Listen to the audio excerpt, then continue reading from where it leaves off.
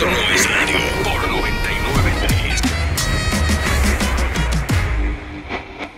Hace unos días tenía una conversación con, con nuestro querido cerebro, Juan Carlos Albelo, que dije, Juan Carlos, deberíamos discutir eso en el aire porque hay cosas con las que yo no estoy de acuerdo.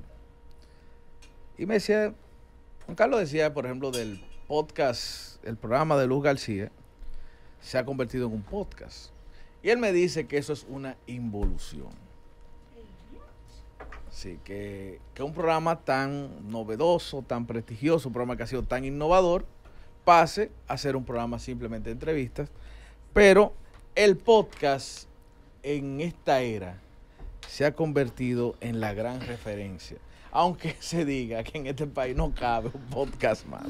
Juan Carlos El desarrolla. internet, no- oye, YouTube dice, ya no quiero más pocas dominicanas. Bueno, ya. mira, Cierren eso. Yo, yo, yo, lo primero es que vamos a definir podcast, que Sí. eso es lo que mucha gente no entiende. Podcast original y puntualmente y literalmente es un archivo de audio de lo que sea. Sí. O sea, un, un audio que se guarda es un podcast.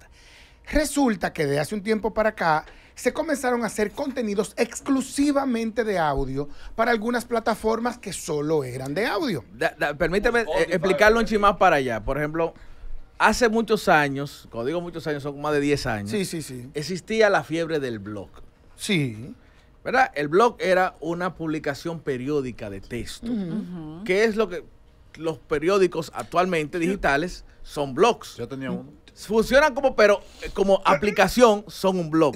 Entonces, el podcast se origina cuando a ese blog tú le agregas un archivo de audio y se que- convierte en un feed de audio. Lo que pasa es que ya había habido el podcast como concepto de audio archivado.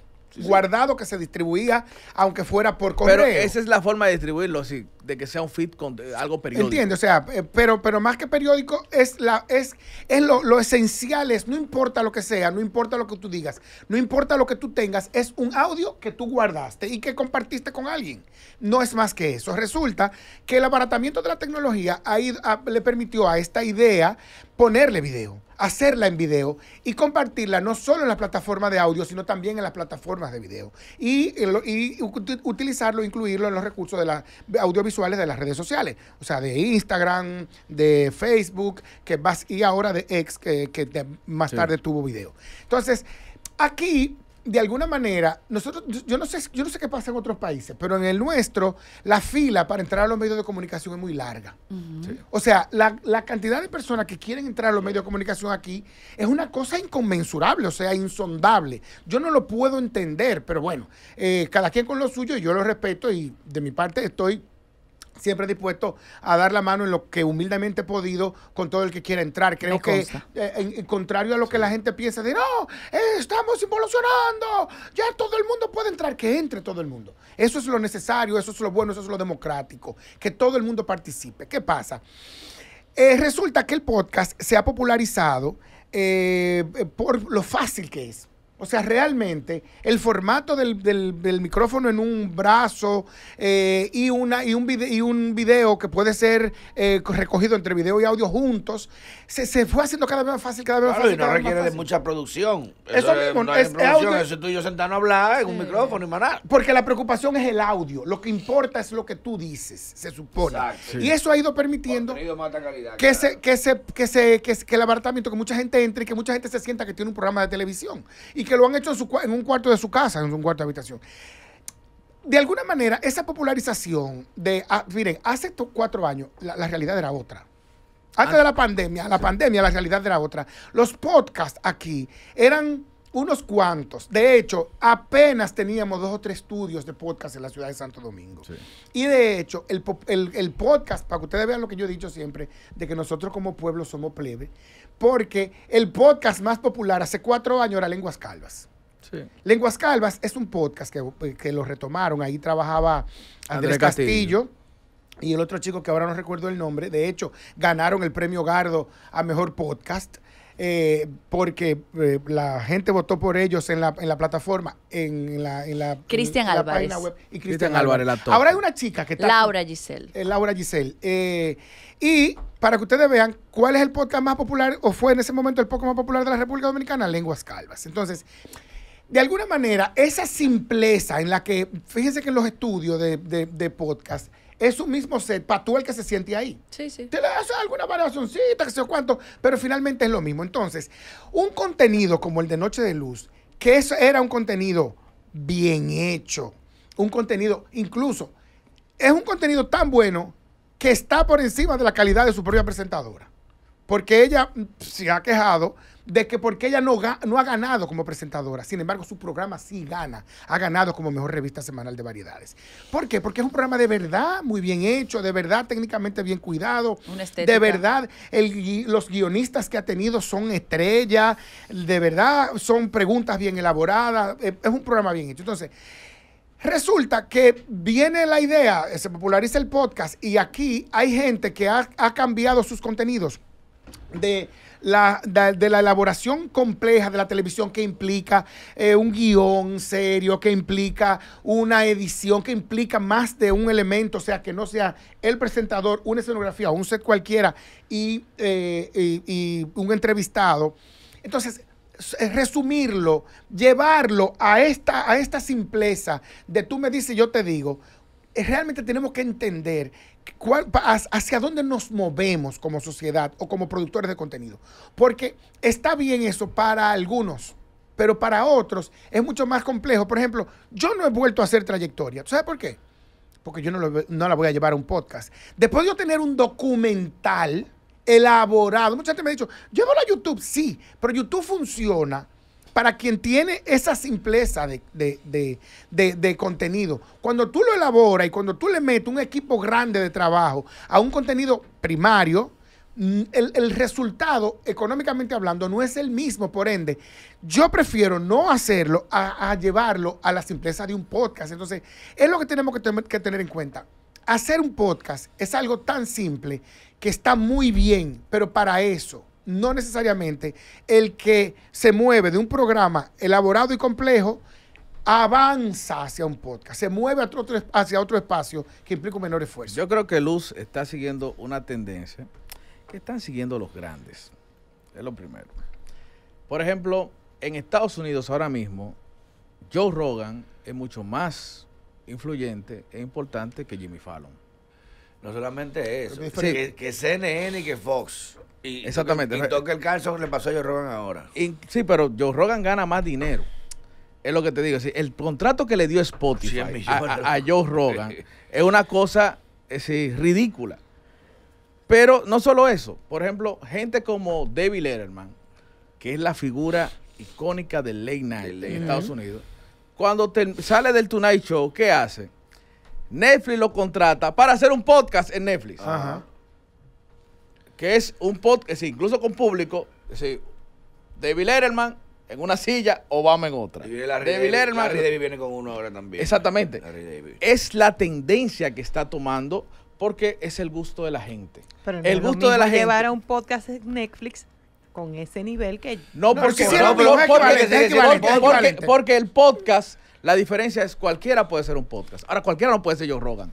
No. Ah. Cualquiera no puede ser David Letterman. Y Sí, entonces Carlson. supone que en este país cualquiera no es lugar. Sí, Eso es verdad, pero tú estás diciendo de gente, no es de gente que cambió su contenido a un podcast, es de gente que un- entre ellos unos salieron de la televisión y, y- y- y vuelven a los medios con un podcast. No estamos hablando de gente que, que está, Jimmy Fallon, está con su late night y, y dice, ¿tú sabes qué? Voy a dejar esto y voy a hacer un podcast simplemente. No es lo mismo. podría hacerlo. Buena Fuente lo hizo en España también. Pudiera hacerlo, pero, pero lo que pasa es que Buenafuente fue un, entrevi- un entrevistador básicamente toda la vida. Sí. Entonces, Y David Letterman también. pero y Lu García no, también no, ha sido Le- entrevistadora. Le- David Letterman era un poco más Y era que un eso. comediante, Y era, un claro. era más que eso. Pero además, Luz García no solamente entrevistaba. De hecho, si ustedes vieron lo que ella hizo con lo de los cuerpos hot, new version, porque es como un poco eso, es como una nueva versión de cuerpos hot. Es, él tenía, aunque no estaba en un estudio de podcast, sí tenía lo del, lo del símbolo del podcast, que es el micrófono con el brazo.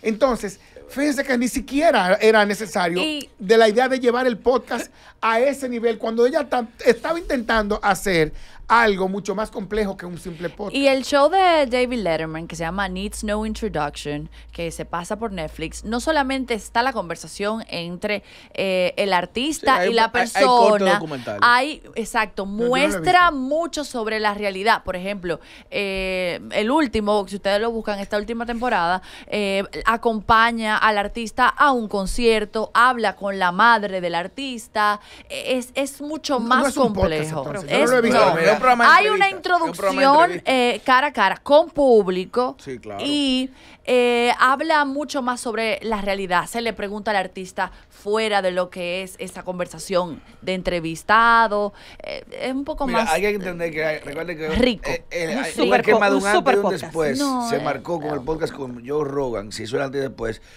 a raíz del cáncer que se le quiso hacer por el tema del COVID.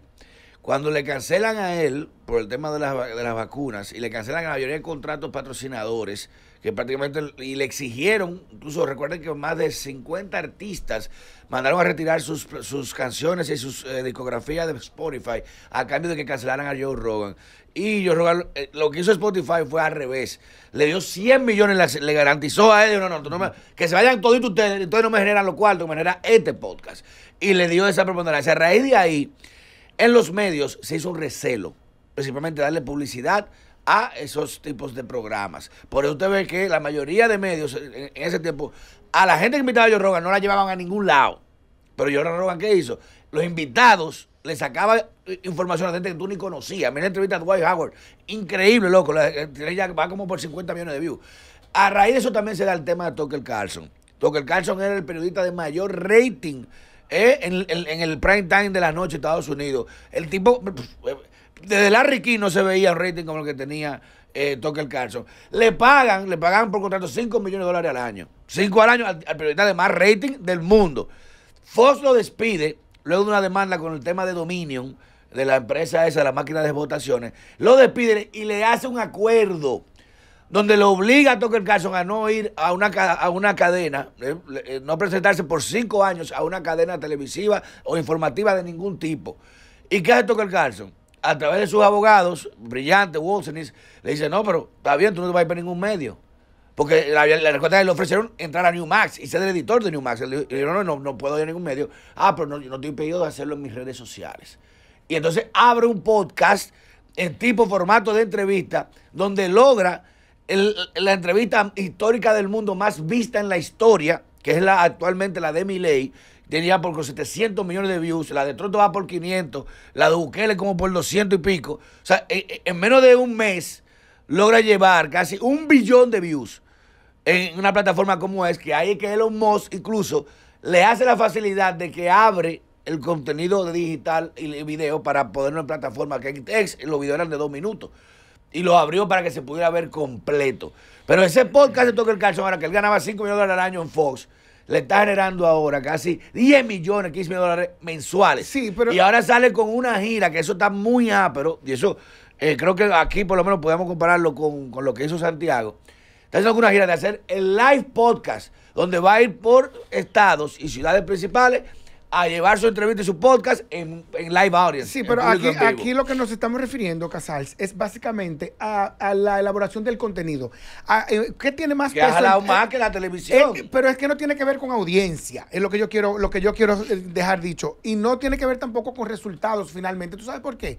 Porque ¿cuál ha sido la diferencia de rating en, en, términos de los casos que nos compete, del, contenido tradicional a lo que finalmente están haciendo ahora? Y a eso es que me refiero. Y, todos los casos que ustedes han expuesto son casos de consecuencias, no son casos de una decisión fría de un contenido que ha tenido eh, eh, tradicional que ha tenido que ha estado teniendo éxito. Entonces, a eso es que me refiero.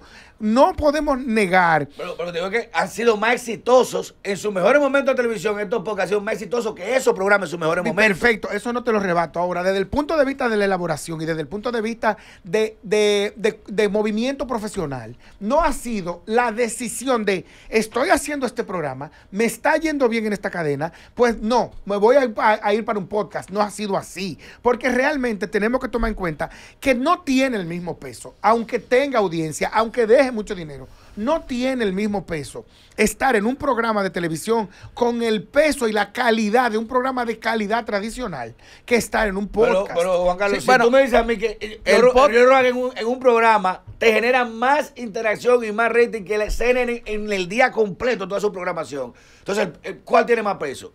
Los de van a No, anunciar, y- ¿cuál y- es- más y es- Tiene es el gusto de la gente. Sí, pero el resultado, que la el gente resultado responde al gusto de la gente, la Juan Carlos. Por ejemplo, en el ca- República Dominicana quizás no tiene la cultura del podcast como, Como tal. Bueno, sí. Porque Sí en tiene. Estados no, te voy a decir, por ejemplo, en Estados Unidos la gente lo escucha mientras trabaja, mientras camina, y- y- y- mientras hace ejercicio, ajá. mientras va manejando. No el podcast en Estados Unidos ha ido sustituyendo al talk show de la radio. Pero nosotros, nosotros, Mira, exacto, nos- tipo de programa Howard Stern, nosotros, correcto. hemos, nosotros que siempre vamos atrás. Nosotros que siempre vamos en eso. O sea, ya cada, vez- cada vez más gente. A este programa, yo tengo reporte de gente que los escucha trabajando, que nos escucha trabajando. Sí, claro. y de camino a pero veces a- Lo que pasa es que trabajo el dominicano, por ejemplo, te lo voy a poner claro, nosotros, este programa, que podría tenerlo, no tiene un podcast en Spotify. No, no, pero pero ¿Por que qué? es tan Porque- sencillo como subir los audios. Pero- sí, pero Claro. te, te voy a decir por qué no lo tiene. Alguien, alguien intentó robarlo y, y le dimos su ramplón. El diablo. Sí, sí. Pero ¿por qué no lo tiene? Porque Spotify en esta zona no paga. Pero, pero, pero, Ah, sin embargo, no sin embargo, rentable. fíjate. Porque no es rentable. Sin embargo- pero si, si Spotify me pagara lo mismo que YouTube, este programa se Sí, viera más, se escuchara sí, más sí. en Spotify. Sin embargo, sin embargo, tenemos con yo me estoy refiriendo a todo esto, me estoy refiriendo a la calidad y a lo complejo de, elabor- de elaborar un contenido, Claro. no la simpleza de una conversación con, con dos cámaras. Sin embargo, la grandeza de esta plataforma, para no decir Santiago, para no irme mal a voz de la cuenta, es haber creado, haberle dado un upgrade a la radio tradicional. Nosotros estamos, nosotros hicimos que la radio tradicional dominicana, digo nosotros no, eh, Santiago hizo, y nosotros estamos en un espacio estéticamente complejo. Nosotros estamos en una cabina que se convirtió en un set de televisión. Sí. Entonces, a eso es que me refiero. En vez de que de, de Santiago. Quedarse en, la, en, lo, en, lo, en lo mínimo de En una cabina de radio, en lo básico que era una cabina de radio, lo que hizo fue abrir el espectro y, a- y agregarle estética, belleza, iluminación a un espacio con cámaras. Porque aquí se estaba grabando radio antes de, antes de que Santiago apareciera. Sí, claro. Aquí se grababa radio y, se ten- y ahí archivaba, hay muchísimas cosas. Ahora, cuando tú haces lo contrario, que tú vienes de un set de televisión, de una, ilam- de una De iluminación buena, de una edición complicada, de una, eh, de una entrevista con imágenes de apoyo. Un grupo, un equipo. A una conversación entre tú y yo. Cuando finalmente es una decisión tuya, no ni siquiera te llevó las circunstancias, pero además, tú tenemos que tomar en cuenta lo siguiente, ¿cuál es tu medio base? ¿Cuál es tu principio mediático? Tú cambiaste y tú tienes una presencia importante en redes sociales y en, en- en, eh, en plataformas de difusión de audio.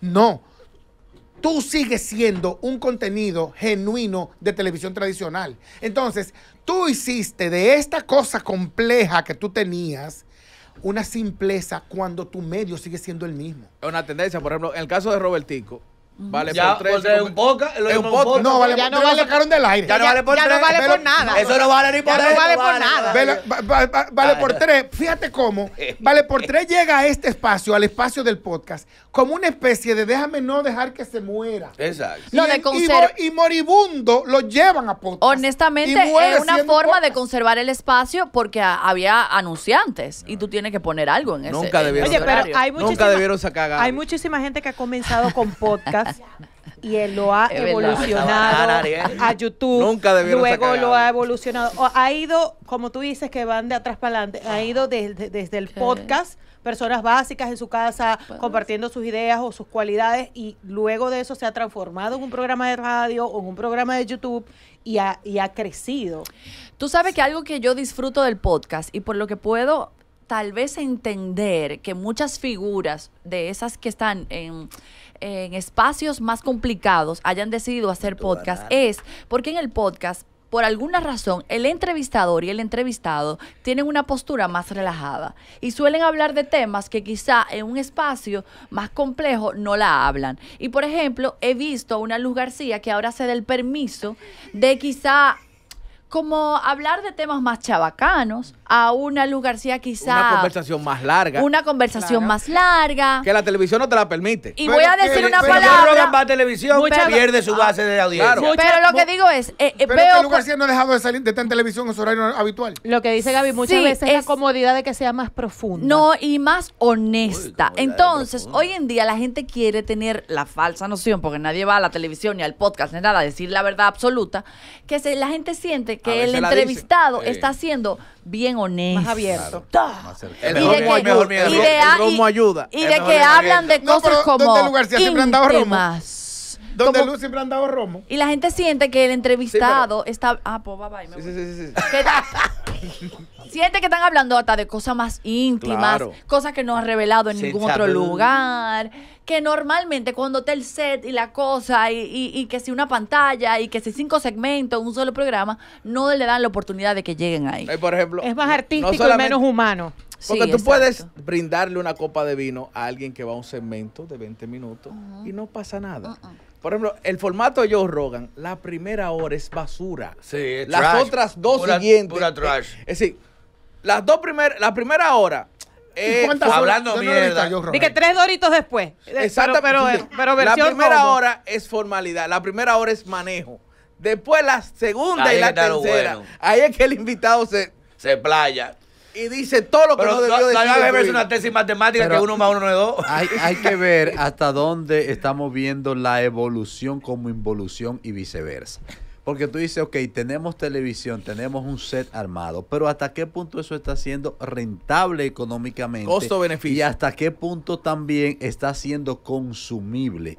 Porque cuando la gente dice, no se está consumiendo televisión, sí se está consumiendo televisión. Lo que pasa es que no se está consumiendo es en el televisor. Entonces, si ese contenido que tú haces en televisión, te das cuenta que te lo están consumiendo más en YouTube o en otras plataformas digitales que en el televisor, entonces tú evoluciona a la plataforma digital y abarata costo y tiene más beneficios. Entonces, y eso también, al tú tener la audiencia digital primaria, te obliga de algún momento hasta bajarle al contenido, porque la audiencia digital, por lo regular, no es tan exigente como la audiencia tradicional. Por ahí como yo Hasta lo el veo. punto de que los mismos artistas prefieren ser tendencia en YouTube que estar pegado en la radio. Mucho. Ir a un programa de YouTube que ir a un programa de televisión. Es una cuestión de tendencia. Sí, pero también Sí, claro. depende de- de- Eh, Es una cuestión de tendencia también por el tema de, de lo, que te, de lo que te genera Claro. económicamente, porque eh, mucha gente está poniendo Es decir, podcast. yo sueno en YouTube y me pagan. Yo tengo que pagar para sonar en la radio. Sin embargo, mir- date una, date una, una, eh, una vuelta por eh, aquellos que han hecho televisión y luego han tenido podcast. Les está yendo muy bien en los podcasts, porque con los anunciantes en el podcast gastan menos dinero y el dinero les entra más limpio. ¿Y qué pasa con los anunciantes? Que no están accediendo a televisión porque los precios de televisión están muy altos.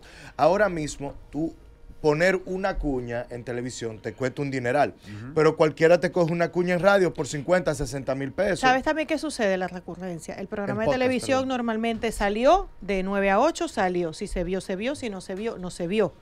En los programas de YouTube tú lo No, entras a ver cuando de tú, ser, tú eh, lo entras a ver cuando tú quieras. Pero por- Eh, gracias a YouTube. Sí, Lo tienes de gracias a. YouTube, pero lo tienes, lo repites 40 millones de veces. El podcast está ahí.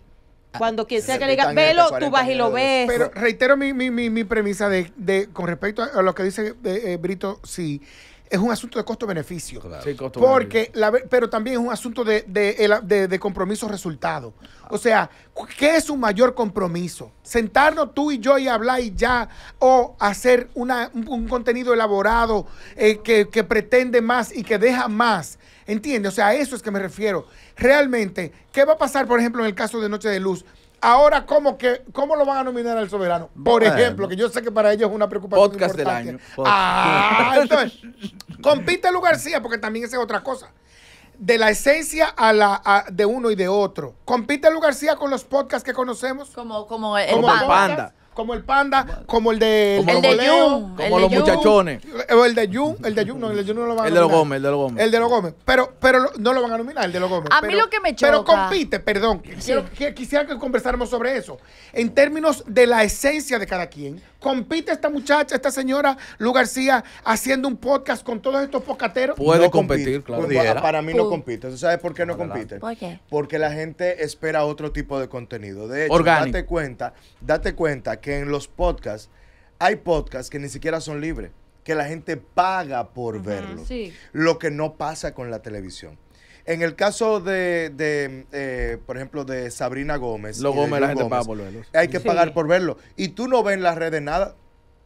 Y tú dirías, no están sonando, no están sonando, se están metiendo Se la están- pata. están- se están ganando metiendo la pata. un millón mensual entre Más, los dos. Están ganando unos más, cuartos más, más, largos. Unos cuartos largos. mensual, tú también. Más, más, más, Casal. Oye, que salía en cuero un poco. Mira, ¿eh? lleva, no, crea una No, en el falla. el co- Crea una en falla. Crea tú casar al desnudo. Casar para al que- desnudo. no falla. Ay, El Dios contenido mío. de los Tú es increíblemente gracioso. Y hay algo que a mí me Casal- choca. Ah, ya tú sabes. Casal, opinión sin camisa. Casal, Casal durísimo, pon ahí. Ey, Casal- Casal Casal durísimo. Roquito, voy apuntando. Vamos a darle. cara, camisa, cara Un millón de. mensual. ¿Cara de qué? Más, más. Dale, que- Mira, hay algo que, como cuando tú planteaste el tema, era sobre la involución de ciertas figuras. Desde el punto de vista del contenido. Claro, y por ejemplo, a mí sí me choca y sí creo que es una involución lo que tú hablas y tus contenidos. Porque de repente, si tú quieres em, hacer que esto, que, que tu entorno o tu escenario sea más simple o más complejo, ya eso es cuestión de gusto.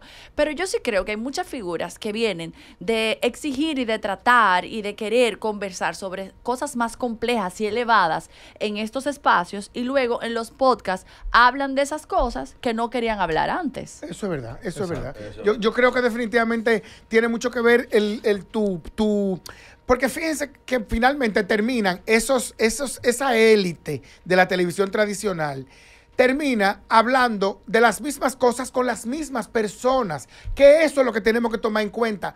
¿Qué aporta, qué hace cada quien y qué trae un podcast? Porque de lo que estamos viendo, de que los Gómez son un podcast popular por, por el que la gente paga, Sí. de que Lengua Calva es uno de los podcasts más populares de este país, de que el Panda y otros tantos, pero su conversación es distinta. Doc Tape, creo que aquí Claro, pero. ¿cuál es la diferencia entre hablar de farándula un y de podcast- intimidad aquí que hablarlo en un En un set de podcast? Porque en televisión. televisión no te lo permiten. Sí te lo Ah. permiten. Porque, ah, No, perdón, sí, perdón, ah, perdón, los, no, los gómez no se puede poner y- perdón, eso es lo que quiero y a las decir. 5 de la tarde con los muñequitos. Pero como quiera. Son buenísimos, pero no los puedes Pero como poner. quiera, vuelvo y te reitero mi pregunta.